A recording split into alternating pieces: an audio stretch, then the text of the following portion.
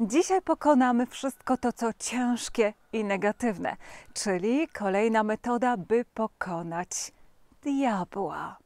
Siły negatywne, które próbują zatrzymać cię na Twojej drodze do szczęścia i spełnienia. Dzisiejsze spotkanie mogę podsumować takim jednym zdaniem.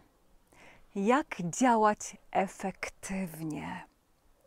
Jak usunąć strach, niepewność, przede wszystkim o przyszłość, takie myśli destrukcyjne, samosabotaż i z radością je i lekkością, z zaangażowaniem realizować wszystkie Twoje marzenia i wszystkie Twoje cele.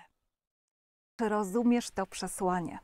Co to znaczy działać efektywnie, czyli koncentracja na efekcie, czyli działać z pełnym zaangażowaniem serca, a co to znaczy działać nieefektywnie, czyli energia jest rozproszona, brak zaangażowania, efekt mizerny.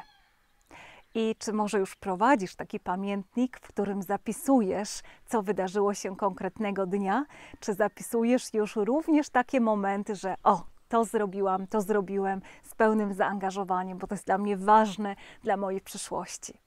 I czy rozumiesz również to przesłanie, że jeżeli w ciągu dnia nie zrobiłaś, nie zrobiłeś nic z pełnym zaangażowaniem, to na samym końcu możesz jeszcze to wykonać poprzez pełną zaangażowania wizualizację, poprzez pełne zaangażowania połączenie z siłą wyższą, czy poprzez pełne zaangażowanie napisanie planu na konkretny kolejny dzień.